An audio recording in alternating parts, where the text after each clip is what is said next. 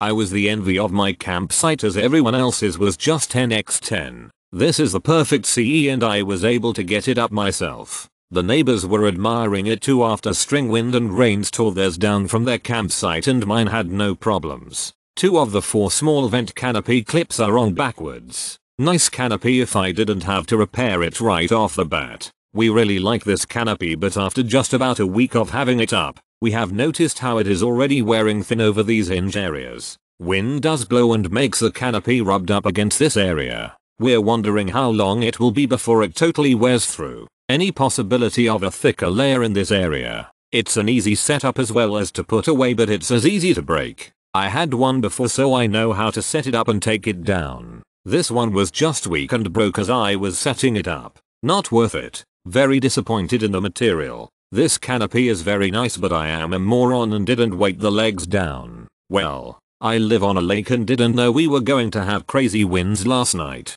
The wind picked the canopy up and ripped the top in multiple spots. I messaged Eagle Peak and within minutes, they responded and let me know they were sending me a brand new one at no charge. When they say 100% satisfaction guaranteed, they aren't lying. We'll definitely be buying more canopies in the future. Really great value, easy to put up with help from a few friends 30 minutes for the first time, as advertised. Easy up and down with one person. Thought 2 would be easier I took this to the beach. 5 days up and down in the sand, no issues. Best purchase I've made in a while.